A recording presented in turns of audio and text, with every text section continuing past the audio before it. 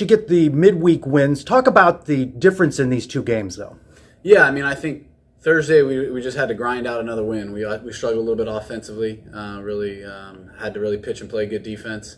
Um, so again, I think in last year those were the type of games that we just couldn't find a way to win. So uh, I was proud of the guys again for finding a way, um, and, and, we played well enough to win. And then obviously last night offensively we really had a breakout game. We've been struggling a little bit swinging the bats the last few games. So um, you know, spring break, we, we got a lot of work in. We came in early yesterday and, and got some swings in, and came back for batting practice.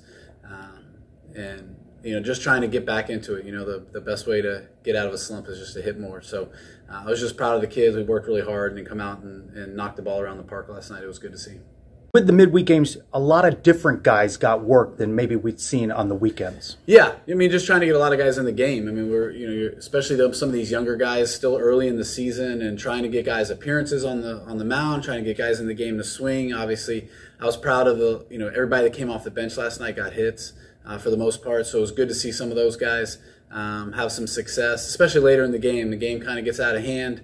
Um, you're up by 10 runs, whatever it is, and it's an easy way just to kind of go through the motions and not, you know, not really, not really show up. Uh, but all the guys that, you know, you've been sitting around for six innings too. So, um, but so I was proud of the guys coming off the bench and, and doing that. So we got a lot of guys in the game yesterday, which is good, and get some more experience for some guys.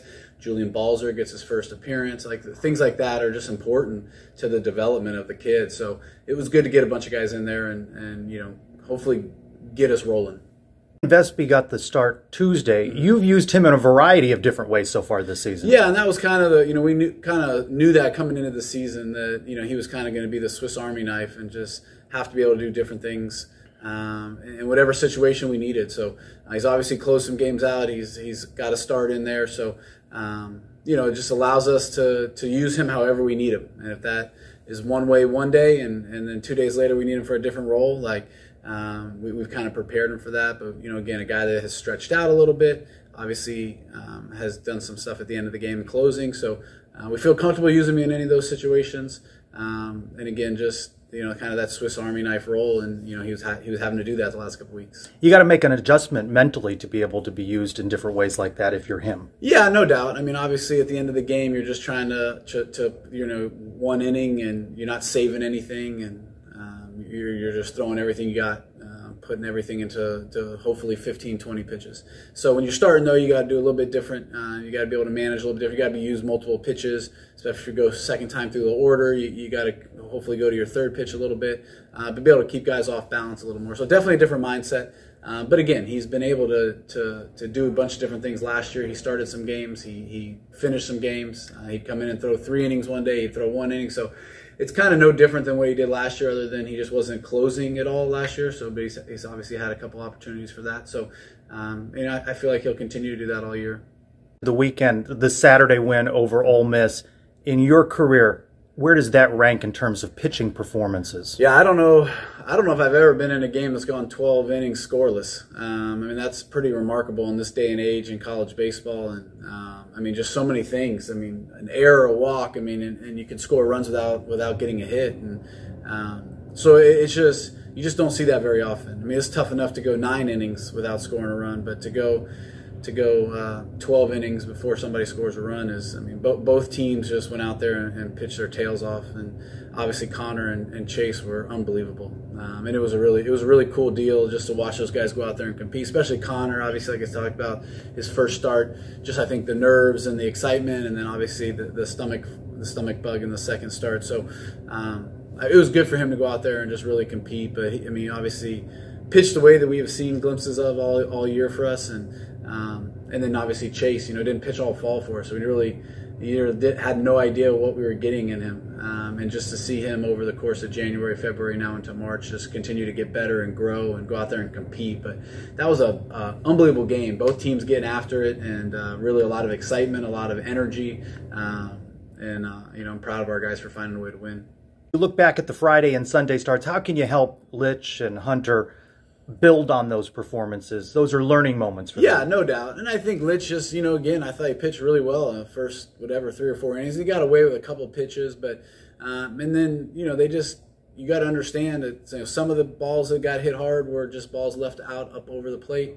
uh, missed missed uh, opportunities, um, and a couple of them were really good pitches that just really good hitters did their job. So. Um, again, I just think that um, you know, from for Litch's standpoint, is the the making sure that you understand how important every single pitch is.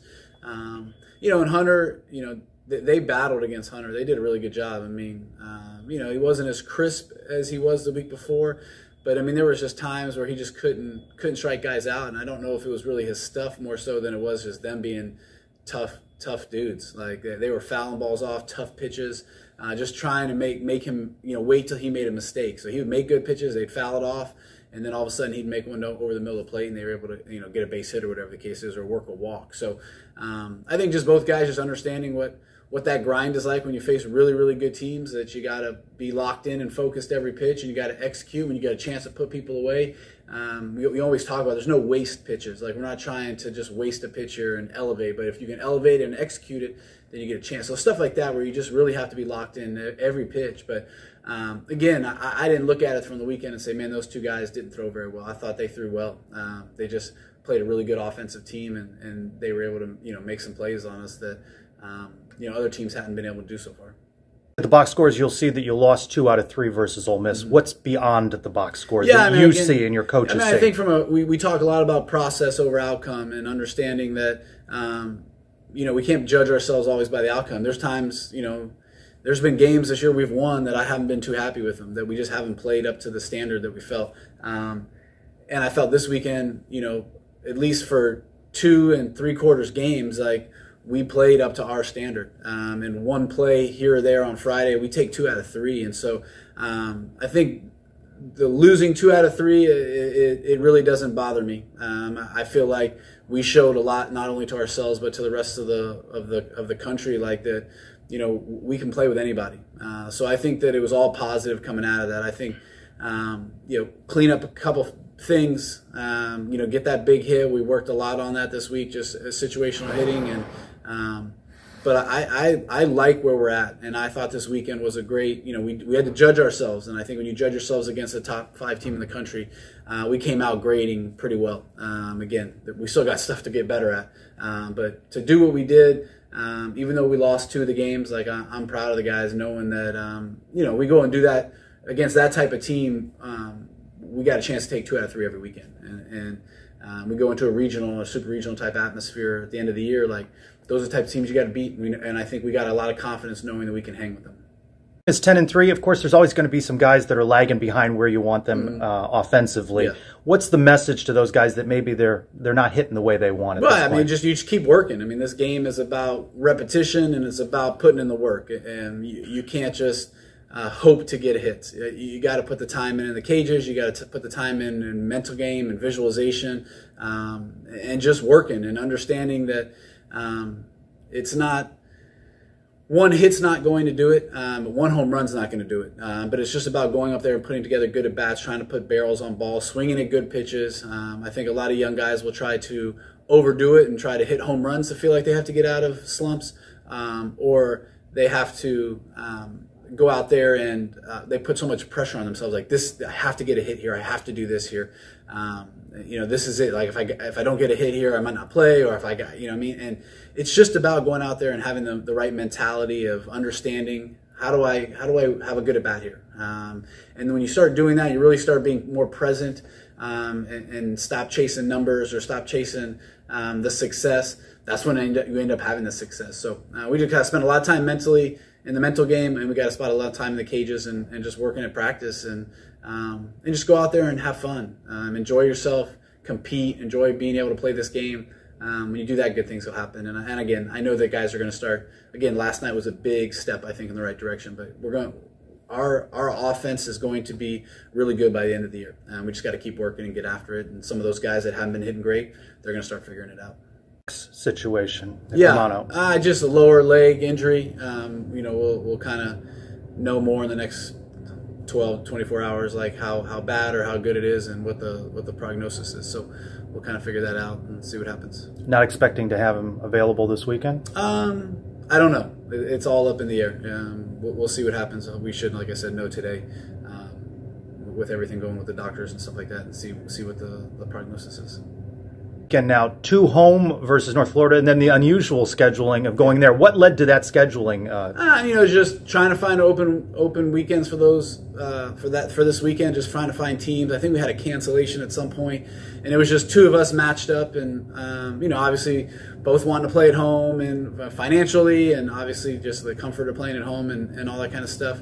Um, so again, we actually had worked out a four game series where we played two games here, the game on Sunday, a game at their place, and then we had another cancellation on a midweek game, and just they were the only team that had another opening, so ended up playing them five times this year. Um, so it's just the way that it worked out, um, and trying to you know help each other out, and you know not go for a weekend at one place or with the other, but trying to split it up, help us both out by being able to play some games at home and get our own fans involved, but also not having to, to pay to stay overnight and, and do a whole weekend trip. So just from a from that standpoint, it just made sense of being them so close and them them needing games, us needing games, us not being able to find another opponent that we just came together and found a way to work something out.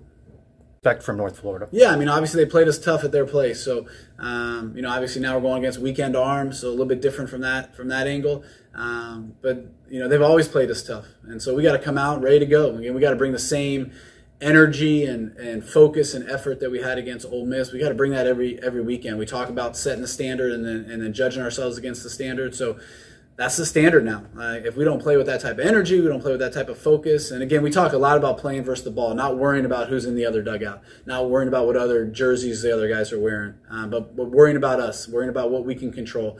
Um, and so I think this is a great test of that is is can you move on from this last weekend and go out and play the game the way that we played it this weekend? And from again from an energy and, and the emotion and, and all that um, all those different um, things that we can control. Can we go out there this weekend and really do that? Because a great team show up every weekend no matter who they're playing. And so um, it's a great test for us to come out and um, you know understand what happened last weekend but understand that, that this is the game of baseball and that we got to show up every single day and uh, be a good challenge for us the value of high profile games. Then Wednesday at home against Miami. Yeah. That's always a lot of energy from the fan bases yeah. and from the players. Yeah. I mean, obviously, um, hopefully it's a great crowd and, and that will help bring energy for all of us. Um, but uh, obviously playing against quality teams, another another top 25 opponent that we got to play. So um, that's always good. It's always good to play them at home and, and in front of our fans. And again, a, another regional type team that